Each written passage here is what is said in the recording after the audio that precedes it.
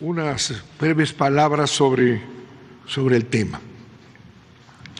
Puede aceptarse éticamente, políticamente, socialmente que más de 20 millones de la población mexicana, nuestra población, no puedan acceder a un instrumento tecnológico hoy fundamental para el más amplio conocimiento, la información y la intercomunicación con el mundo. Esto implicaría aceptar que 20 millones de mexicanos queden sometidos a un retraso secular, a una severa marginación, significa que millones de niños pueden para siempre quedar en desventaja frente a sus contemporáneos por la sola razón de vivir en lugares a los que el acceso se considere antieconómico, no rentable. Esto es una inaceptable injusticia para el país. En la rutina de la cotidianidad, el tema puede pasar oculto para los otros millones. Podía ser totalmente desapercibido, pero para el gobierno de la Cuarta Transformación sí los vio, sí los ha visto por su estrecha vinculación con toda la sociedad.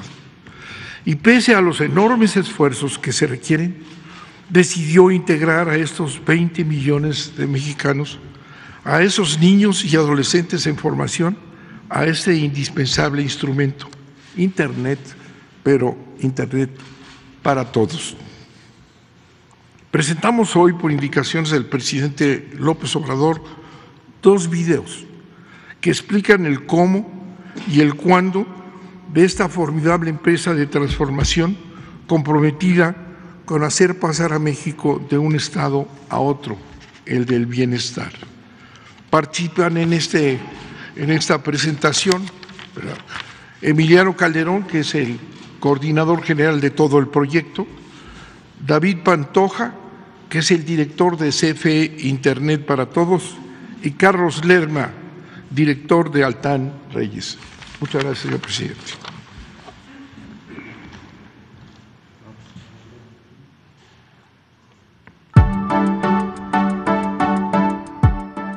Se lleva Internet para el bienestar a los 20 millones de mexicanos que no lo tienen? En México, más de 20 millones de personas no tienen acceso a Internet ni a la telefonía celular por encontrarse en poblaciones inaccesibles, en regiones apartadas y marginadas. Las personas que no tienen acceso a este servicio se encuentran aisladas de la información que fluye en Internet, convirtiéndolas en víctimas de la marginación digital. Esto representa una profunda desigualdad e injusticia.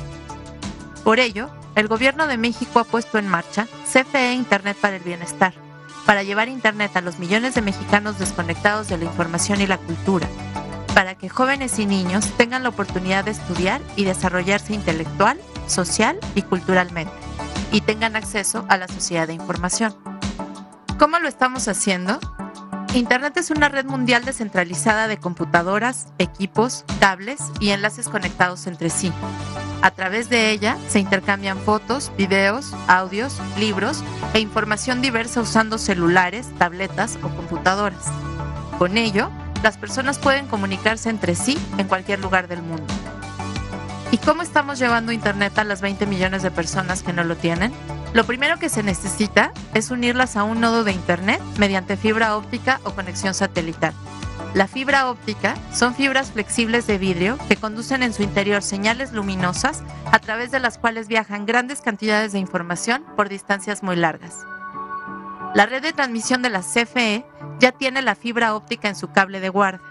Esta red, conformada por las grandes torres que se ven junto a las carreteras, es la vía de transporte de grandes volúmenes de electricidad a lo largo de todo México.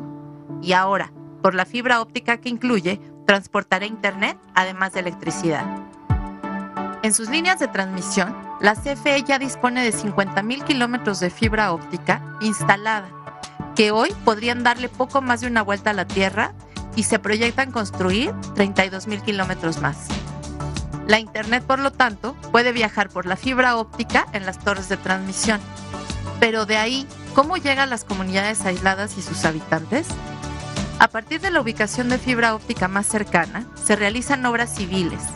ductos, canalizaciones, registros, entre otros, para llevar estas conexiones de fibra óptica a torres de telecomunicación instaladas estratégicamente y en lugares altos, para maximizar la cobertura a la población objetivo. Si una comunidad estuviera fuera del alcance de la fibra óptica, su torre de telecomunicación se conecta a un nodo de Internet por vía satelital. Cada una de estas torres de telecomunicación, a su vez, tiene una radio base que entrega los servicios de Internet inalámbrico 4.5G a la población. Con este servicio inalámbrico, todos los habitantes de una comunidad con un teléfono celular, tableta o un equipo de banda ancha móvil podrá tener acceso a Internet, ya que la señal viaja por el espectro radioeléctrico, es decir, a través del aire.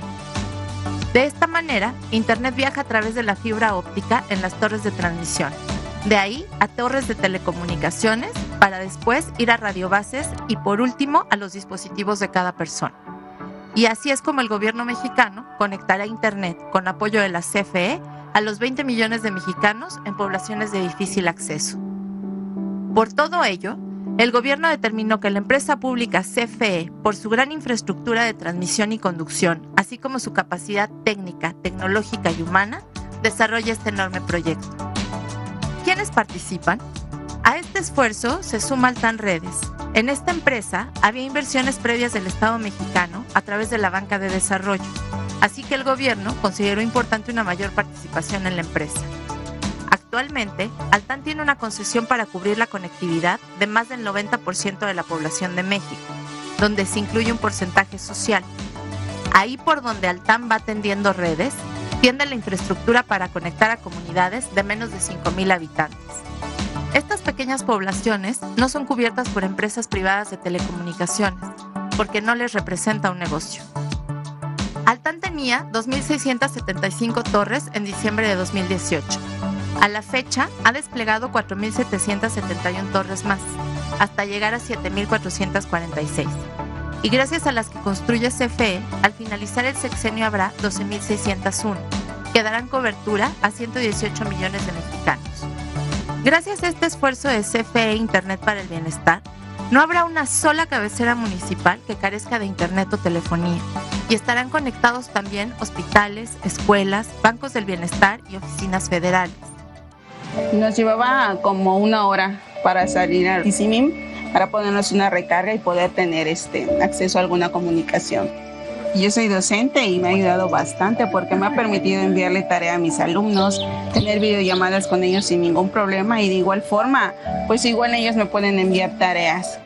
El gobierno de México cumplirá el objetivo de llevar Internet a esos 20 millones de mexicanos que ahora no lo tienen, para que sean parte del universo de 118 millones de mexicanos conectados.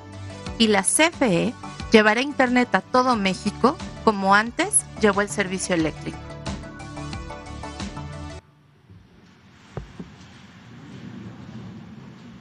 ¿Tienen otro? ¿Sí? Ah, sí.